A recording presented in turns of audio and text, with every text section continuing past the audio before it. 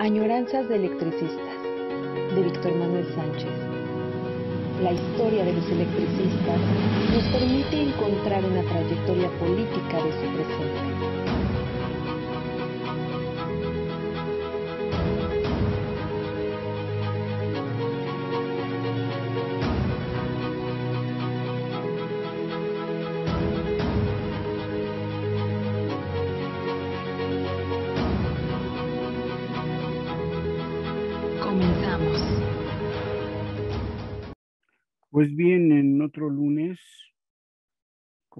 Sabemos, espero que nos estemos acostumbrando a que hagamos un repaso de algún punto de la historia del sindicato mexicano de electricistas.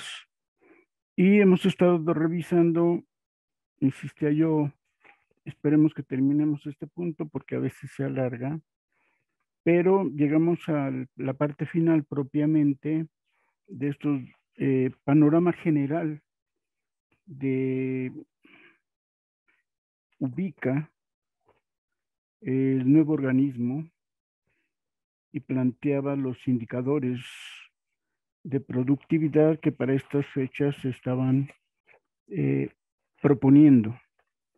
Se había iniciado con pocos indicadores, con solo un 5 y ya para cuando eh, que se habían sido trazados para la compañía de luz, pero ya cuando surge efectivamente el nuevo organismo salen estas políticas generales y surge también eh, más indicadores que como hemos estado revisando, pues era Hemos comentado que en realidad todo esto ya está en el contrato colectivo de trabajo, desde mucho antes, que quizá lo más novedoso eran las comisiones mixtas eh, de productividad que van a replantear la reorganización industrial de la compañía de luz, del nuevo organismo propiamente, y sus bases financieras, de la misma manera que se van a plantear la productividad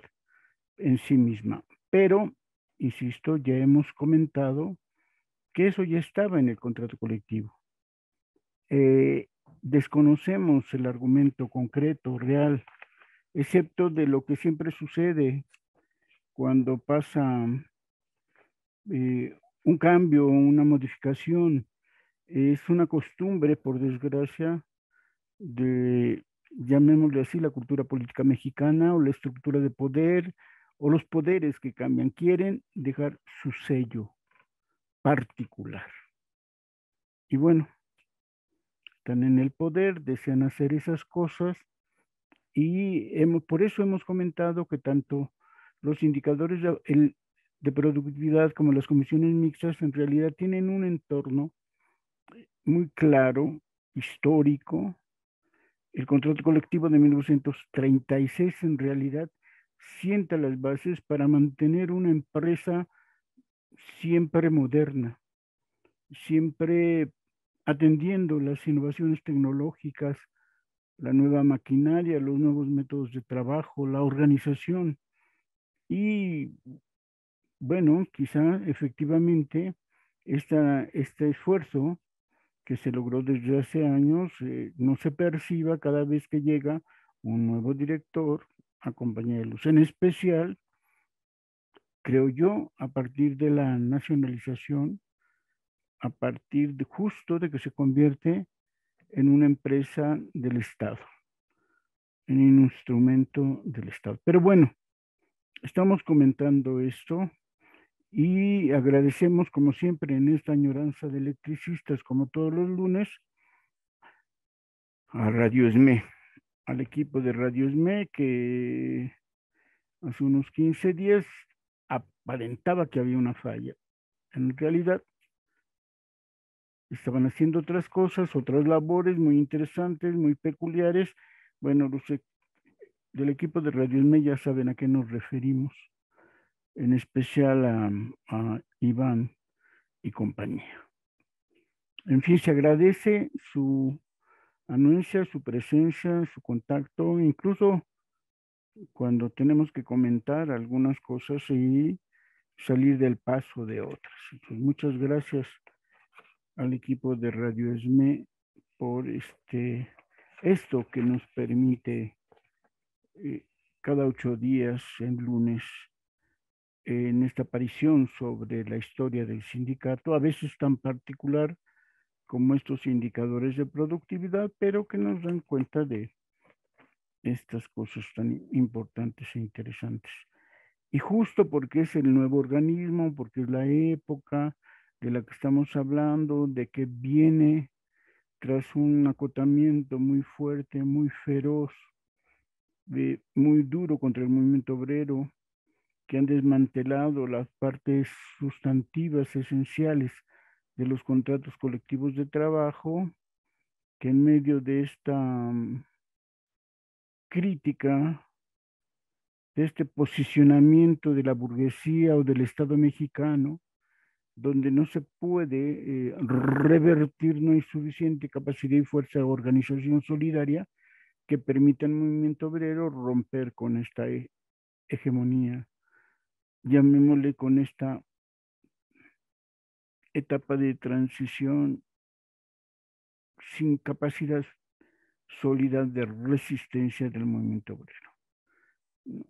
yo tengo el indicador por hablar del tema, que mientras la jubilación no logre resarcirse del golpe que le dieron, eh, seguimos en derrota del movimiento obrero.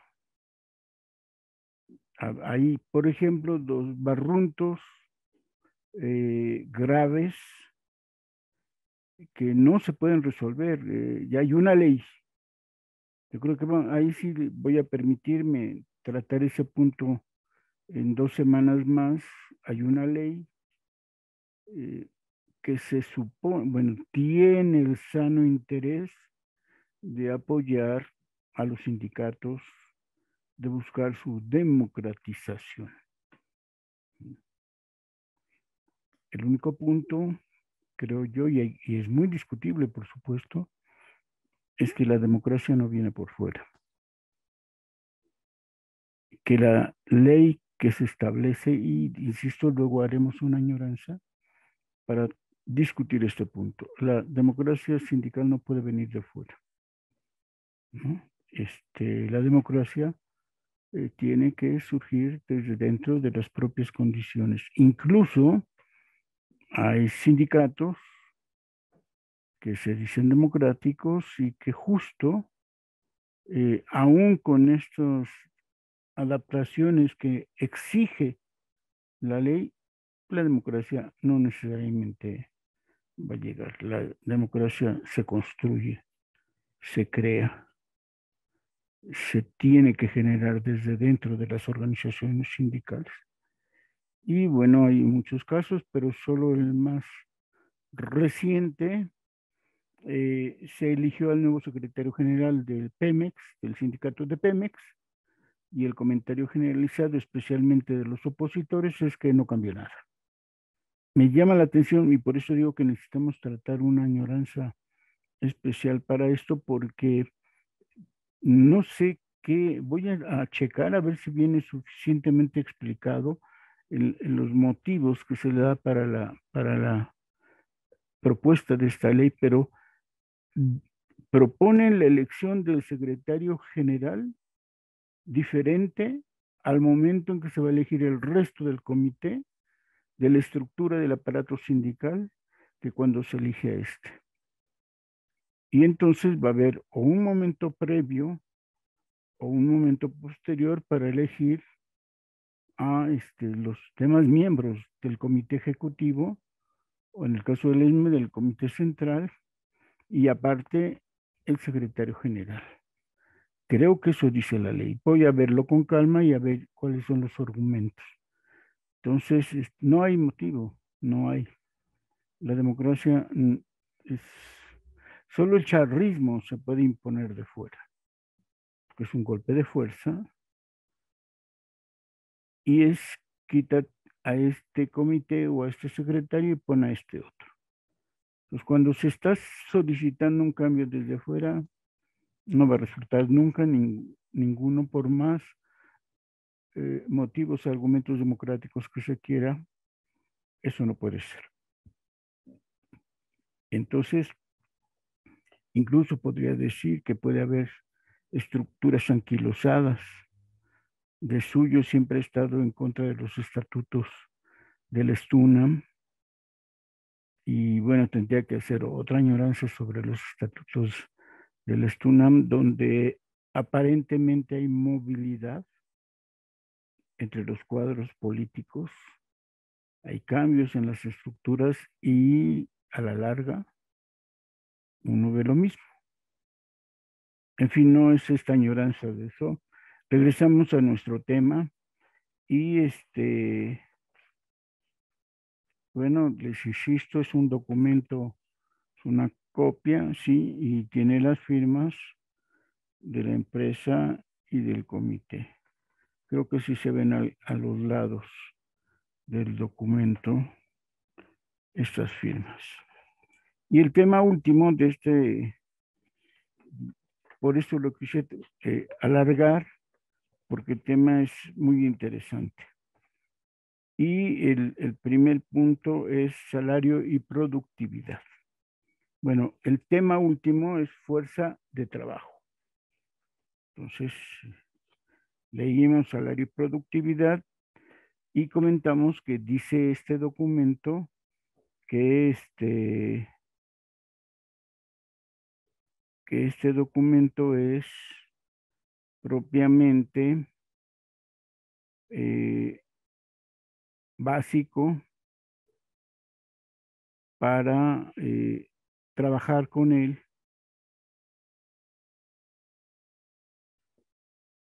Eh, para mí es lo más importante, pues es el punto nodal del tema. Y estábamos leyendo ya este asunto de fuerza de trabajo. Miren, hoy ya logré ponerlo, dejo de lado mis notas. Obvio, este es una captura del texto que no va a tener las firmas, no las puedo copiar. Bueno, el salario, dice, ya lo leímos la vez pasada, pero leemos salario y productividad, el tema general, fuerza de trabajo.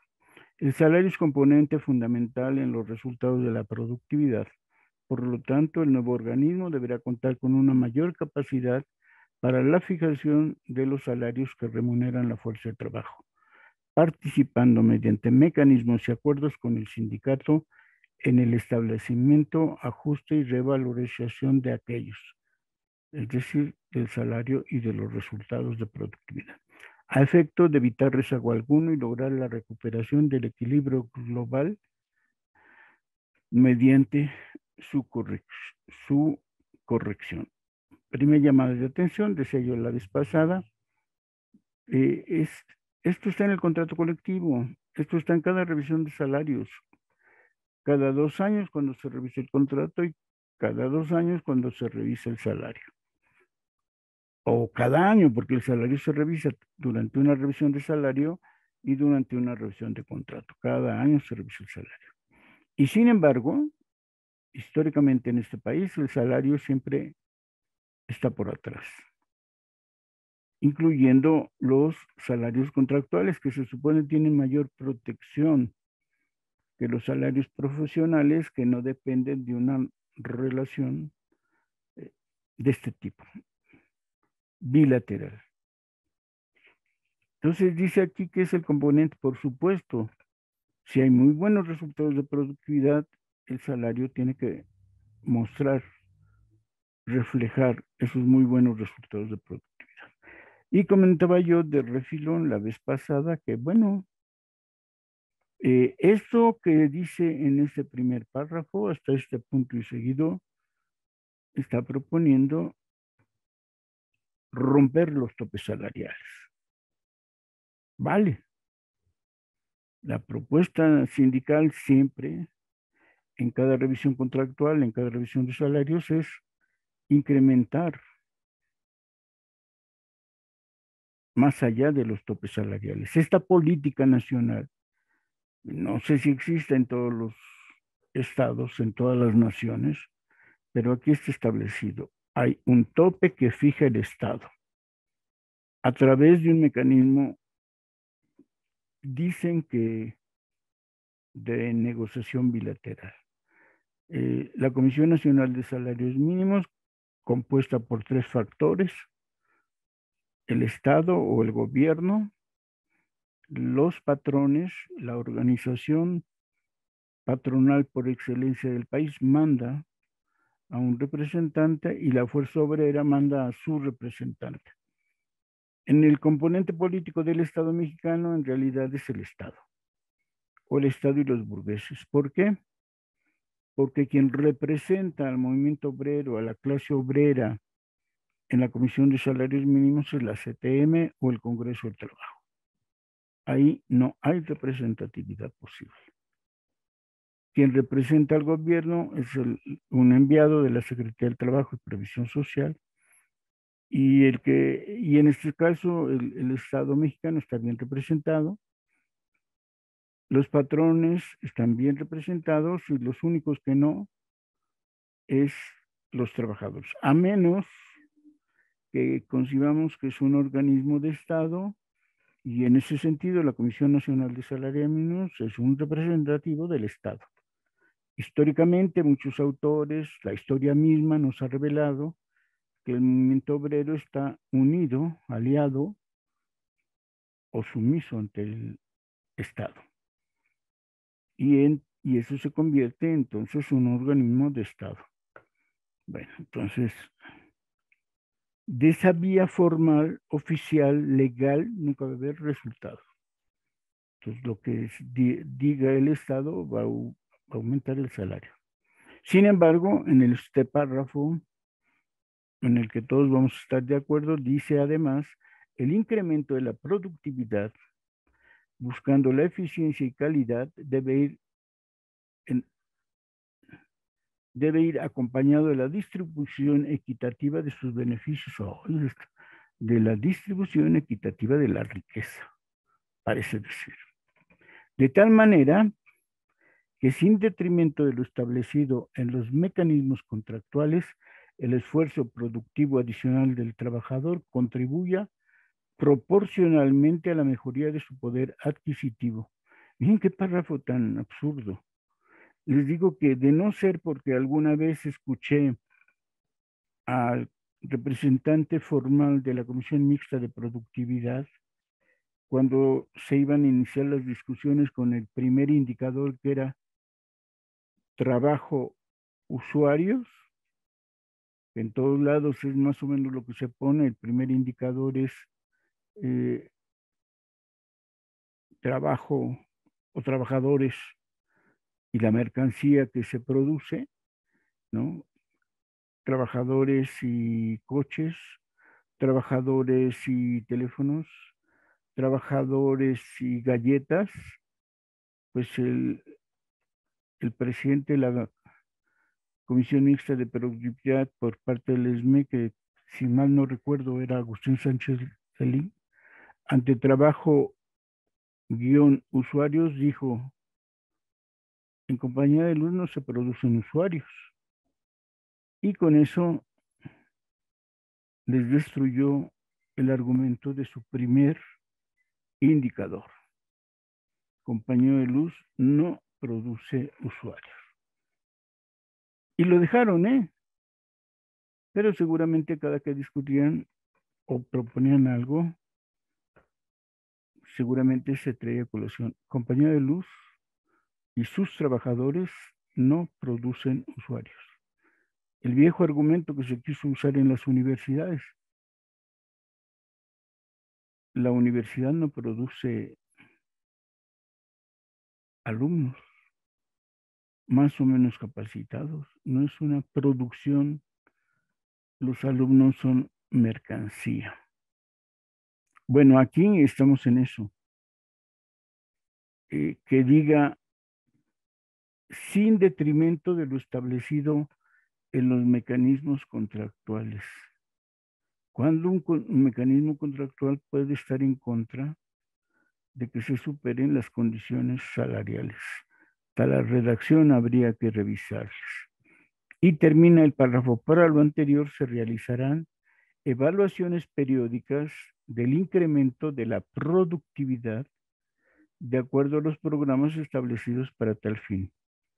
Producto de esta situación en las áreas en que se modifiquen o establezcan las nuevas condiciones productivas, se concertarán las modalidades específicas que permita se cumpla con las premisas establecidas.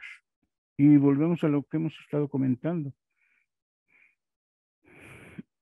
En cualquier lugar, área, departamento donde se modifiquen las condiciones, se discuten las condiciones. Por ejemplo, se hace un completo, una sucursal y en sus distintas áreas se van a tener que modificar los convenios correspondientes a esas áreas.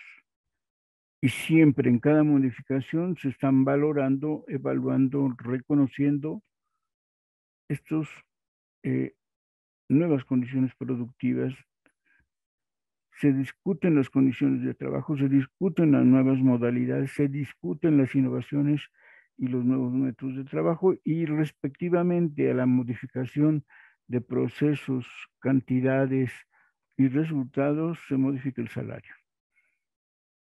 Está en el contrato colectivo y está en los convenios departamentales.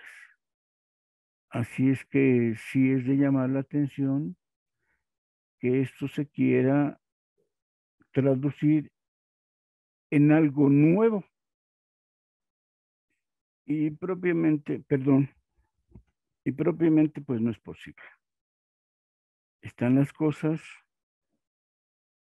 están escritas, pero seguramente, insisto, las nuevas autoridades quieren eh, poner su granito de arena.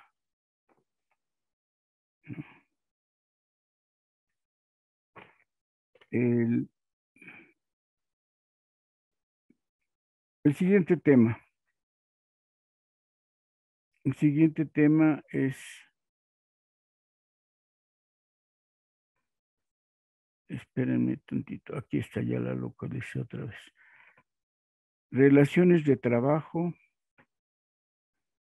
y condiciones de trabajo. Ya estaba apuntado el tema en el párrafo de arriba, pero bueno, veamos lo que dicen habrá participación activa de los trabajadores y del sindicato en las acciones de productividad, aplicando los preceptos que al respecto contenga la normatividad legal y convencional, o en su caso, incluirlos donde se necesite de manera específica y clara esta última. Insisto, se está tratando, sí me sorprendería, por desgracia, a nivel de representantes departamentales lo sorprendieran.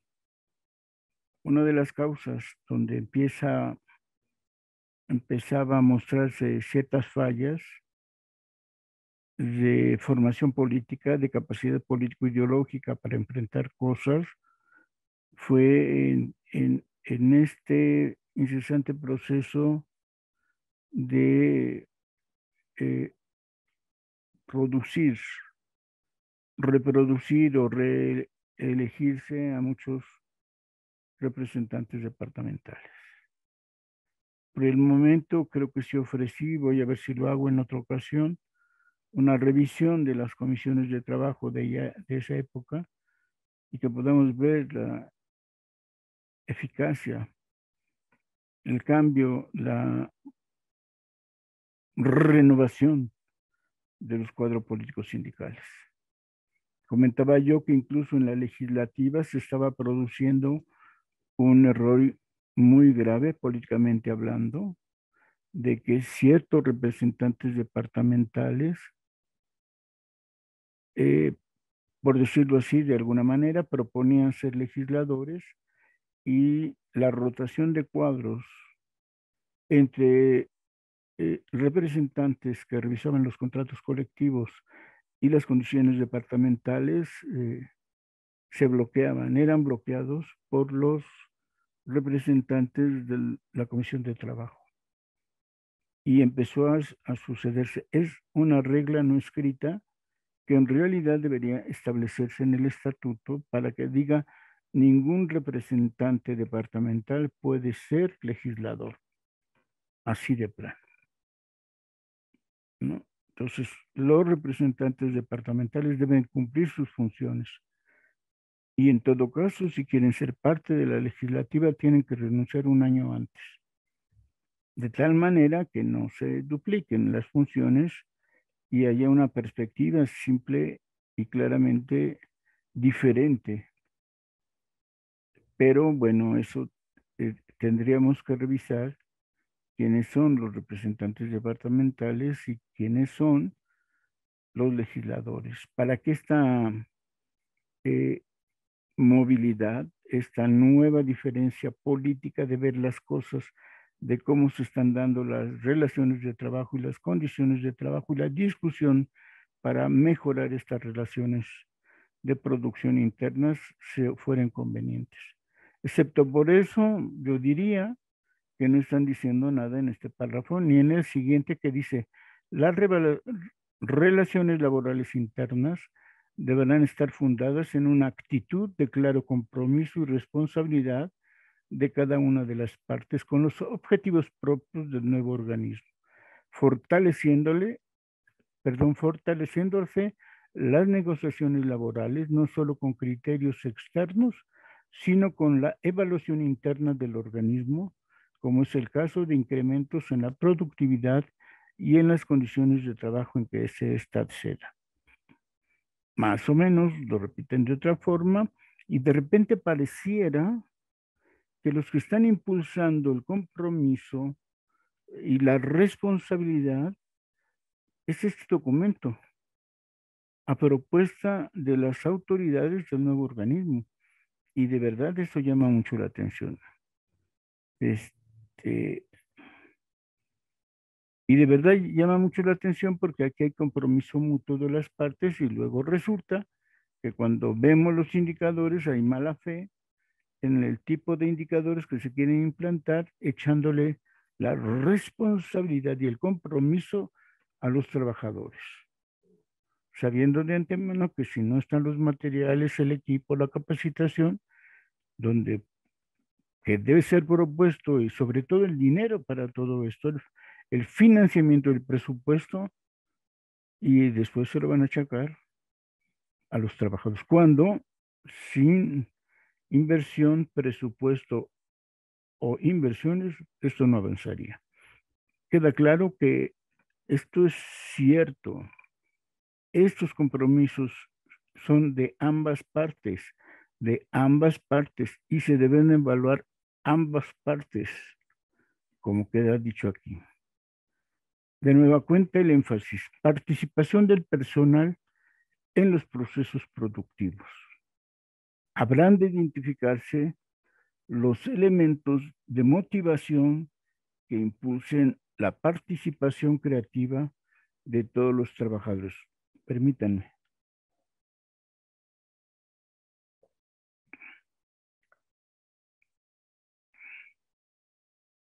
Debiéndose arribar a un clima de mayor apertura y objetividad que estimule, por un lado, la participación y la colaboración. Y por otro, cambios de hábitos en la organización, en el trabajo y en los procesos de racionalización que permita romper inercias para alcanzar esquemas de trabajo más productivos en los niveles de dirección, supervisión y operación.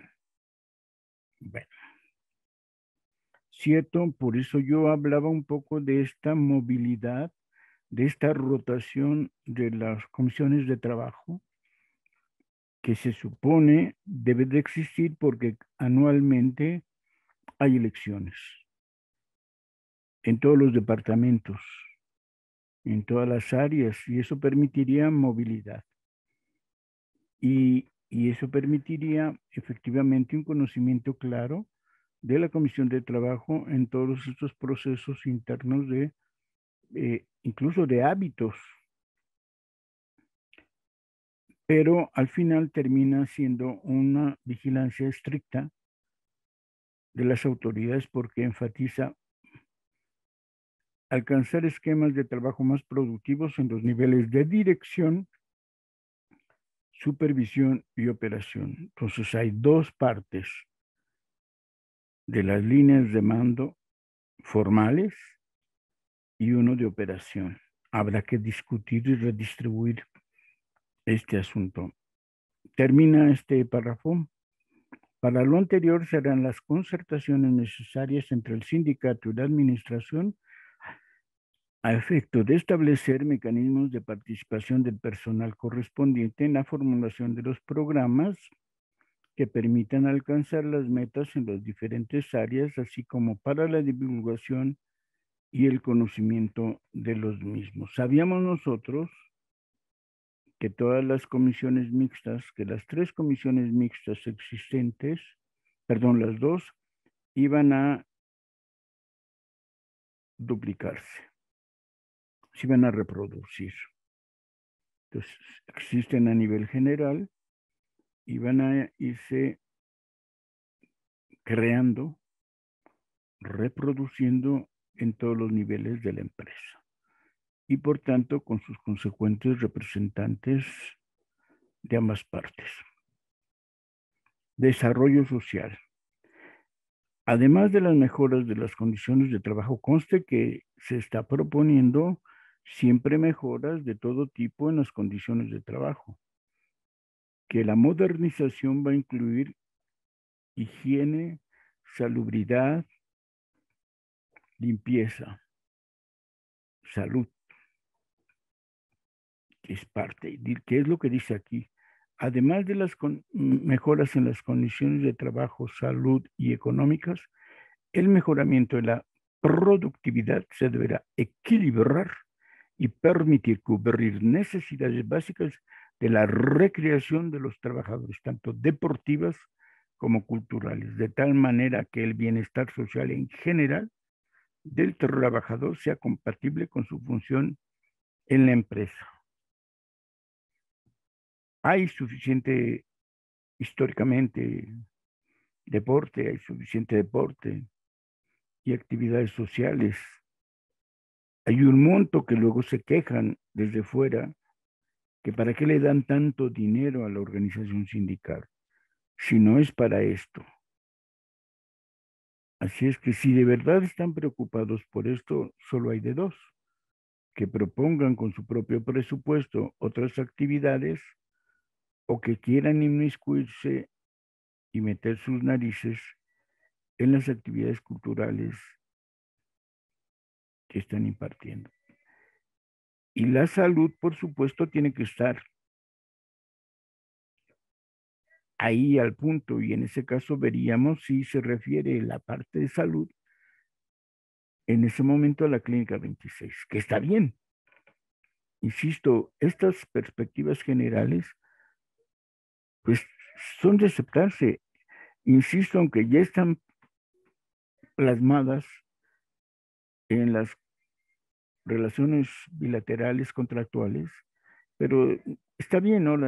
llega un nuevo organismo, llegan unos nuevos jefes y quieren que quede claro, ok. Va. Capacitación y desarrollo. Ya hay dos comisiones centrales que se manejan bilateralmente, pero insisto, vienen otra vez capacitación y desarrollo. Hay formas de capacitación y desarrollo y formas de seguridad e higiene. Para alcanzar los niveles de productividad formulados para el nuevo organismo, se deberá promover que el personal de nuevo ingreso tenga la calificación correspondiente al proceso productivo donde se desempeñará.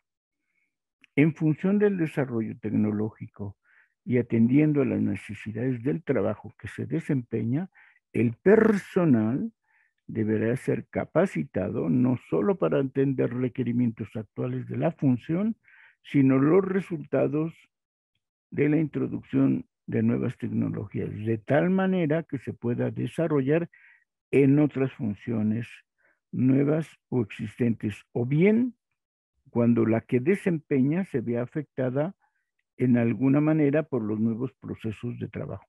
Se promoverá el desarrollo del nivel técnico y profesional de los trabajadores a de ser más eficiente su desempeño mediante el corresponsable establecimiento de programas de capacitación y desarrollo de los recursos humanos orientados hacia tal fin. Cierto. El procedimiento que hubo un tiempo reciente, antes de la extinción, fue que llegaron algunos funcionarios y que dijeron nueva tecnología y antes de dar capacitación y antes que discutir, dijeron sobran 15. Nos quedamos con 8 y sobran 15. Por poner cualquier ejemplo. O pongamos el ejemplo de que se iba a modificar todos los medidores y se iba a implementar la libreta electrónica. Vale. Punto. No puedes hacerlo de entre el lunes y el miércoles. No se puede. No puedes modificar ni en una semana todos los medidores del territorio del Distrito Federal. De las divisiones de los cinco estados que corresponden al territorio de Compañía de Luz, más de las 18 delegaciones. Hoy alcaldías. No se puede. Entonces elaboras un programa que vas cubriendo, por decir, no sé si tienen 3.000 medidores y las tablets o libretas electrónicas que van a atender ese asunto. Y si quieres que esto resulte de la mejor forma, primero va el programa de capacitación, el programa de conocimiento de, los nuevos medidores, de las nuevas tabletas. Y conforme se van instalando, se está capacitando al personal. Empieza la capacitación un mes, decides en qué zona, se cambian esos medidores, ya se les instruyó en el manejo de las tabletas electrónicas y vas cambiando poco a poco. En eso, si te vas a tardar un año o tres, pongamos dos años, en ese proceso de cambio de eh, dos años de toda esa parte te da tiempo de revisar el conjunto de las áreas de trabajo. Yo comentaba, se necesitan de 100 Ixtapalapa por lo menos tres sucursales, por decir Ixtapalapa. Es muy probable que otras zonas, que otras eh, alcaldías ahora o en ese tiempo delegaciones, tuvieran que incrementarse en la distribución del trabajo. Es muy probable que tuviera que modificarse efectivamente el asunto de eh, las sucursales, pero ojo, solo en lo relativo a esta parte, solo en, lo relativo, si quieren, al, al medidor y al tomador de lecturas.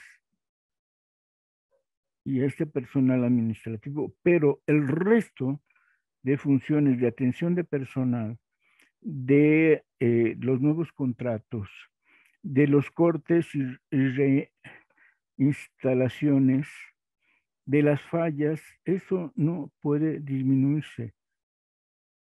No se ha modernizado ni se ha modificado todo el cableado de la ciudad o de la zona de trabajo de luz. Entonces, en todas tus áreas, si de verdad estás tan programado, seguramente vas a ir avanzando lentamente. Justo eso significa un programa. Programas en qué, cómo, dónde y demás. O sea, por decir, modificar toda la central de abastos. Incluso diría, si de verdad lo quisieras hacer con mucha rapidez, de principio necesitas mucho personal, no despidos, mucho personal y meter a capacitación a todo mundo. Por lo menos a los 10 mil, 8 mil, 3 mil, ponle, ok, 100. Si 100 se quedan para atender la central de abastos, tienes suficiente tiempo para capacitarlos, mientras cuatro mil o más desinstalan e instalan. Pero es un programa, no puedes empezar a despedir, porque la agresión es contundente y la reacción lo sería también. Entonces, ciertamente es programas y ir desempeñando paso por paso, fase por... Puede ser rápido, cierto, pero no se logra. O sea, no, no, no llegan el lunes todos los equipos nuevos y el viernes todos ya están instalados y todos capacitados. No se puede. Entonces, capacitación efectivamente iba a ser jerárquica. Seguridad y salud. Insisto, tanto la otra como esta hay comisiones en el nuevo organismo o en la compañía de luz estructurales y generales. El incremento de la productividad deberá ir acompañado de acciones específicas que mejoren las condiciones de seguridad y de salud en los lugares de trabajo y medio ambiente en los que se desenvuelve el trabajador, así como de la salud física y mental del mismo. Perdón, pero históricamente la seguridad y salud tienen un atraso increíble en el nuevo organismo, bueno, en la compañía de luz. Y apenas se estaban dando cuenta de que las comisiones de seguridad y salud a veces no estaban completamente integradas o no cumplían sus programas anuales de trabajo. Pues primero amoldarse a esto y si dependen del otro, de acuerdo, pero se necesita que se estuviera completamente de acuerdo en que todas las áreas, todas las instancias, todas las gerencias, todas las divisiones, la comisión previa de capacitación, instrucción y adiestramiento y la comisión mixta de seguridad e higiene y salud en toda la compañía debe estar al 100%. Insisto, llegaron los nuevos y quieren poner sus palabras nuevas. Pero el mecanismo, si tenía defectos, era por falta de presupuesto. Y el primer reconocimiento que debería tener el organismo es este. No hemos funcionado como se debe. Y eso es importante. Pues bien, perdón, perdón, pues bien, nos queda una última parte que pues en realidad solo lo voy a mencionar y les voy a tratar otro tema. En la última fase de este documento que estamos leyendo se llama modernización del nuevo organismo y dice que se va a construir eh, un plan integral de modernización que va a estar en relación a la modernización del sector energético, y vinculado directamente del Programa Nacionalización, perdón, Programa Nacional de Modernización Energética y demás programas departamentales.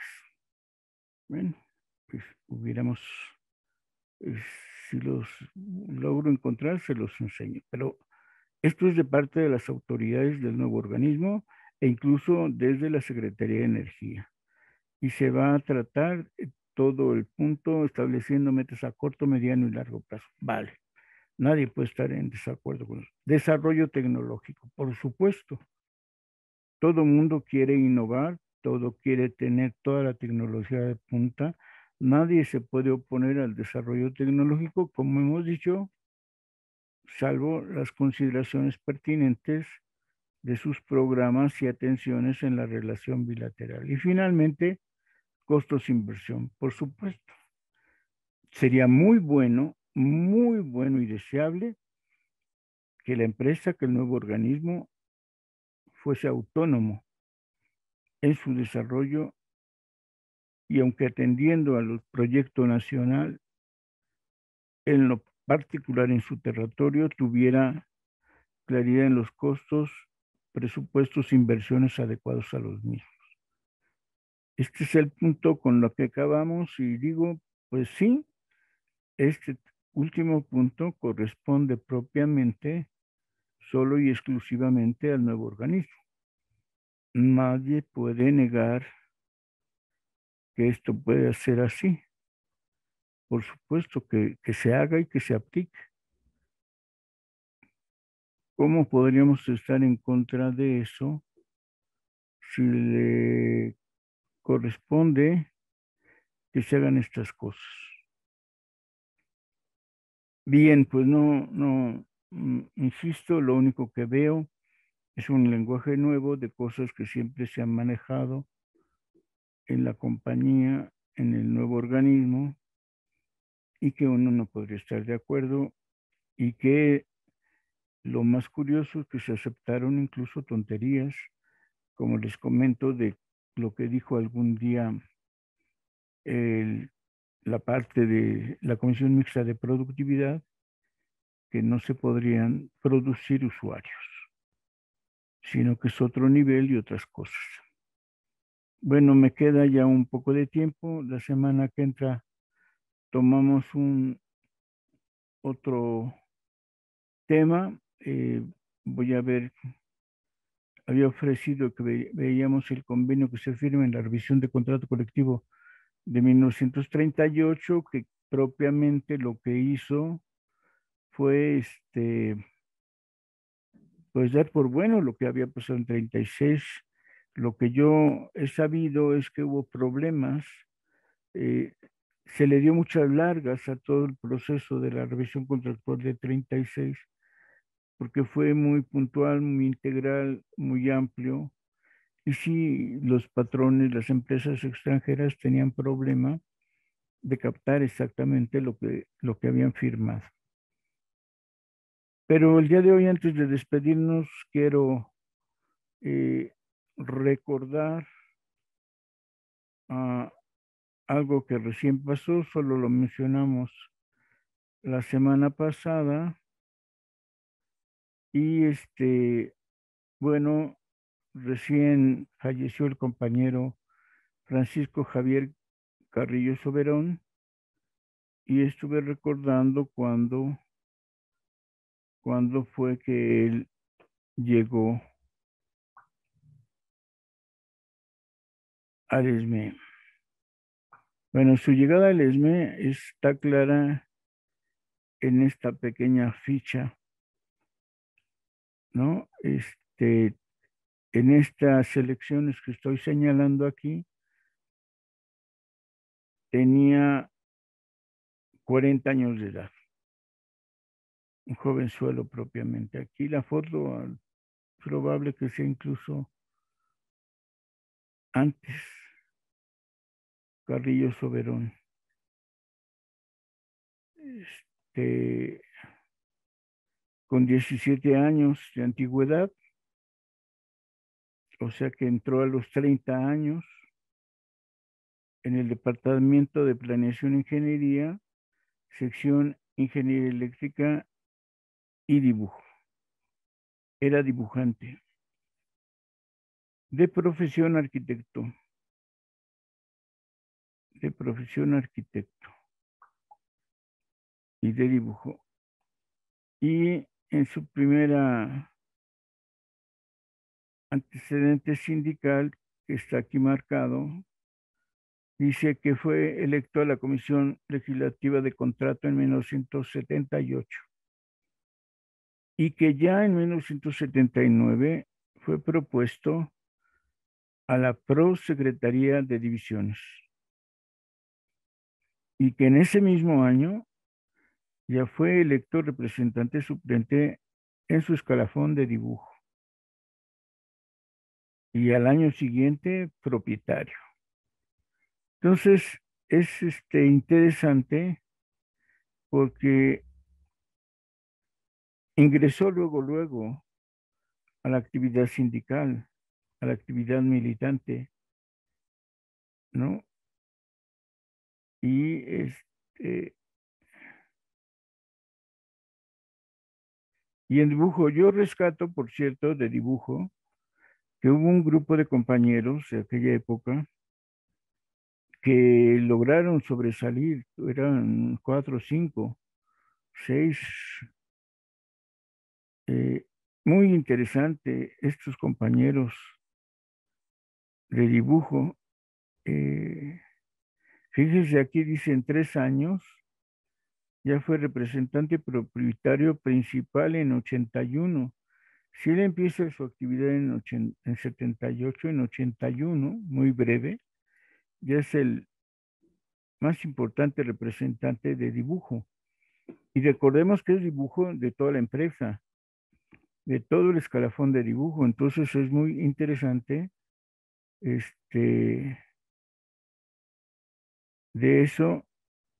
Y lo otro que llama la atención, no está, por cierto, yo debería de estar aquí. Eh,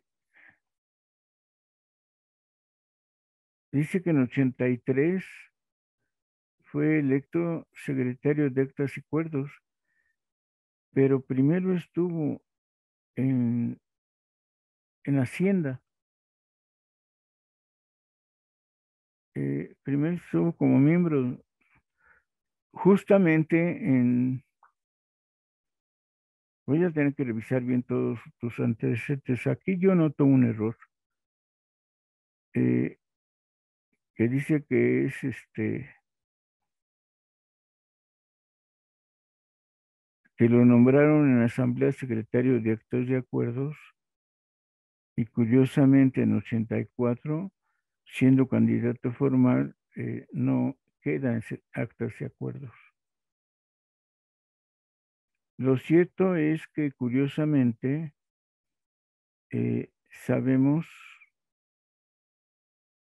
que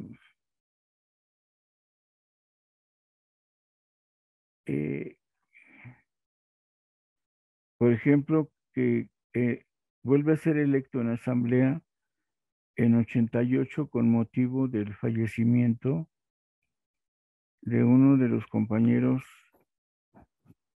el miembro de, que estaba en el exterior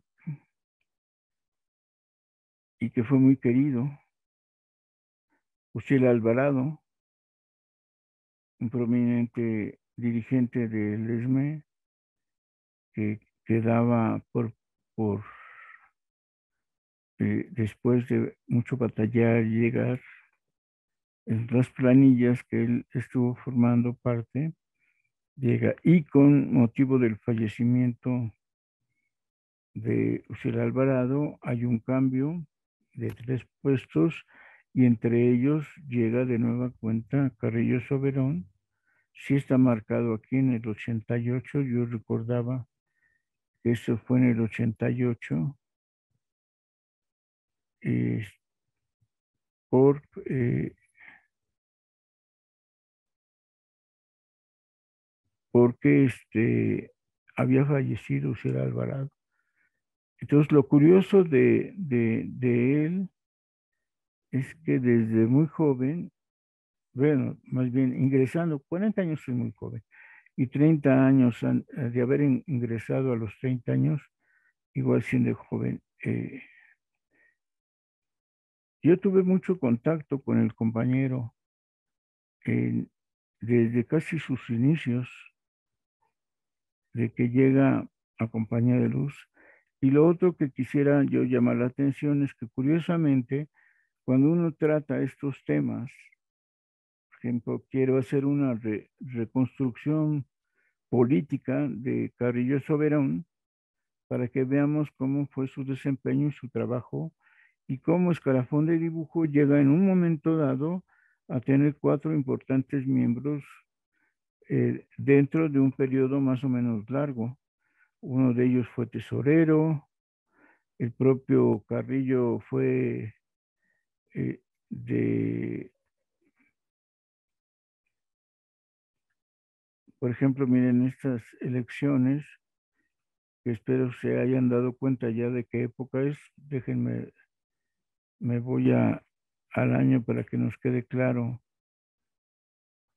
en qué año va, a ser el candidato en 92-94. Y entonces participa la planilla Coalición ESME, que va con Miguel Soto a la Secretaría de Interior, está la planilla Unidad Sindical, con José Abel Estudio Rodríguez al interior y Unidad y Democracia Sindical, en la que está Carrillo, con Pedro Castillo Medellín, Antonio Reséndiz Educación y Propaganda, José Santillán a, Justicia, va a Tesorería Gustavo Lugo, va a Actos y Acuerdos Víctor Hugo García Lagunas, va Rosendo Flores a obra determinada, va secretario sucursales Julián Díaz López, jubilados Daniel Lozano Ruiz, y aquí prosecretario de Servicio Médico Francisco José Francisco Carrillo Soberón.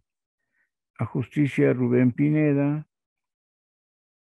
a Justicia José Santillán, a Hacienda Raúl González Navarro, Hacienda Humberto Barrales y representan la planilla José María López Martínez, Ramiro Cervantes Estrada. Bueno, el problema de, estos asuntos, y es inevitable, pero así es la historia, en su momento, estas planillas y estos personajes, cada cual hizo su función correspondiente y en unos casos perdieron y en otros casos obtuvieron los cargos, ¿no? Eh, es muy difícil, insisto, no se puede, intentar de repente como que hacer a un lado los personajes y no mencionarlos. Porque esta es una etapa histórica concreta del sindicato. Y si queremos decir, ah, estos personajes, momento, estos personajes en este año cumplieron a cabalidad con sus funciones. Y en este caso, como candidato a prosecretario del Servicio Médico está Francisco Carrillo Soberón, que en esta época y en sus siguientes épocas, lo que vamos a notar es que cada cual en su perspectiva va ofreciendo las capacidades, las propuestas tanto del grupo como las que por su cuenta pueden ir desarrollando. Y las cosas son como son, pues. A lo que voy es, no podemos decir o esconder o no decir las políticas, los desempeños sociopolíticos que los compañeros del ESME desarrollaron. Por ejemplo, eh,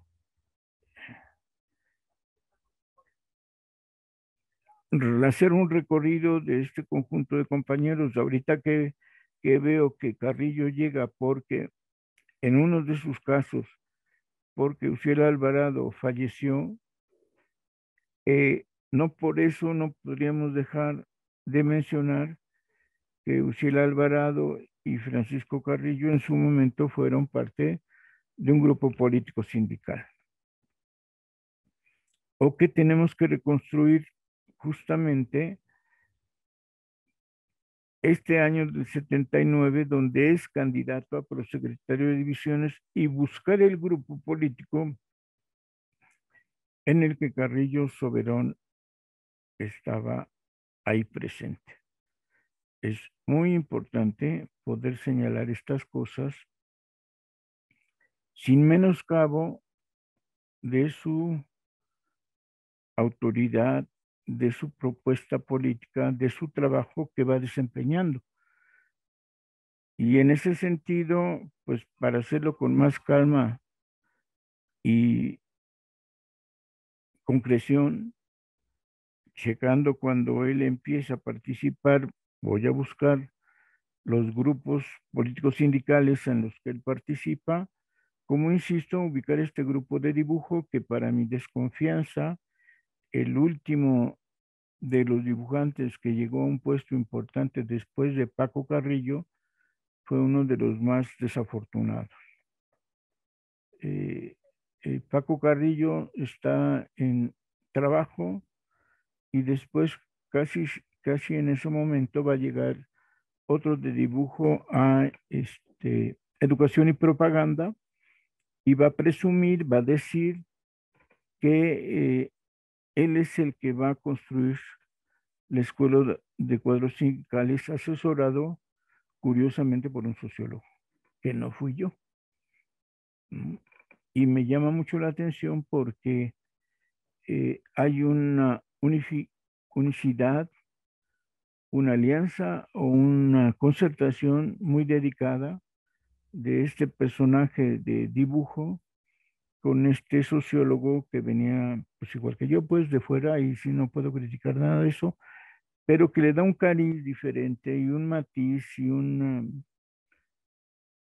¿cómo podría decirlo? Una presunción a este personaje. Y entonces, por aquella ocasión, no me acuerdo si en ese año que él llegaba, este, este de dibujo llegaba a la Secretaría Educación y Propaganda, pregonando eh, la originalidad de la Escuela de Cuadros, al igual que su asistente o asesor, eh, no creo que fue un año o dos antes, que yo comentaba con a, todos los compañeros de dibujo que, que, llegaron a, en distintos momentos y en distintas áreas al comité central, eh, a todos los, alguna, los conocía yo, hablé con ellos, platicábamos. Vertis era uno de ellos. Vertis, que la última vez que supe allá, sé que anda por ahí, este, estuvo asesorando, ayudando a levantar el programa de la Revolución de las Canas, por ejemplo.